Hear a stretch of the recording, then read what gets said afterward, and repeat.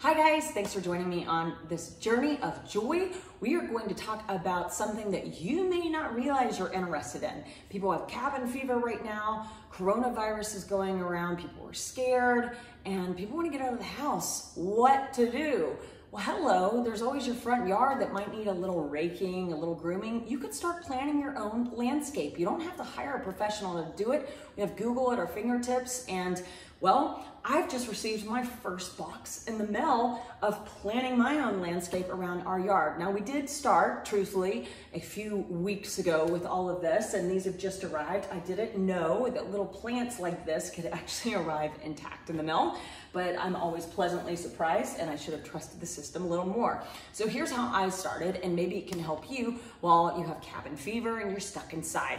So I started researching, okay, we're in a hot environment here in South and Central Texas around San Antonio, Austin, the hill country. So what sort of plants will do well here? I really wanted more of a desert landscape. I wasn't looking for the butterfly garden. I wasn't looking to do a vegetable garden. I wanted something that was more drought resistant, something called xeriscaping. That's spelled X-E-R-I scaping. A lot of people want, think it's zero, like the number. No, it starts with an X. All right, side point there Sidebar. So going back to this, I wanted something that was a little drought resistant. And I started picking cacti and succulents. And then I also realized that you really have to know your hardiness zones.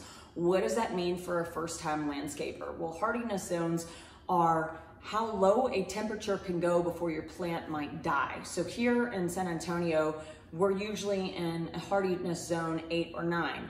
That means that any plant that has a number lower than eight or nine usually will be okay here in our environment because uh, hardiness zone of four, it's a plant that can normally take ne negative 20 temperatures, which I don't know if it's ever gotten that cold in San Antonio. I'm sure somewhere, at some point, maybe, but as of most recent years, I don't recall a temperature that low. Normally we, the lowest we get is about 17 degrees. So I have planted cacti in my yard, golden barrels, queen agave, uh, Reginas. I will show you those in just a little bit, but I also wanted something that would complement it, and these are Boulder Blue Fetuscas.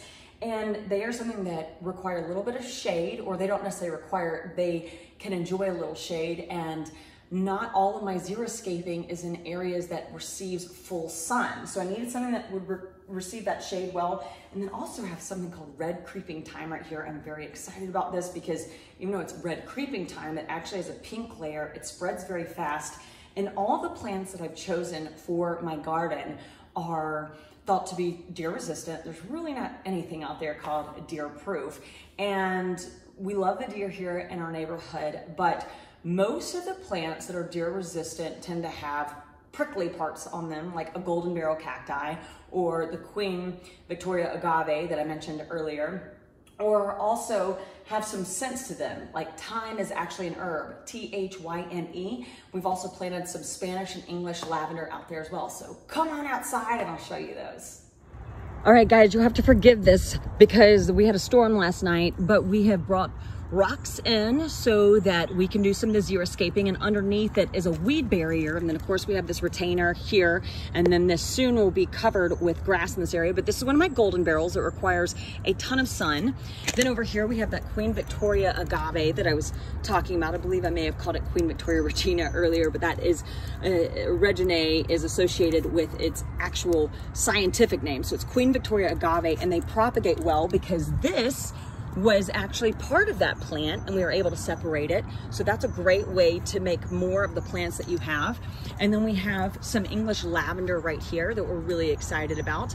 And then over here we have another golden barrel. They need full sun. So as you can see, as we look up this area, I've set out our Boulder Blue Fetusca grass, which will be beautiful as we get it into the ground. So this is kind of an idea of what we're doing. And again, it stormed last night. So also over here, you'll see that we have more lavender. Where all these green flags are is where that Fetusca grass is gonna go.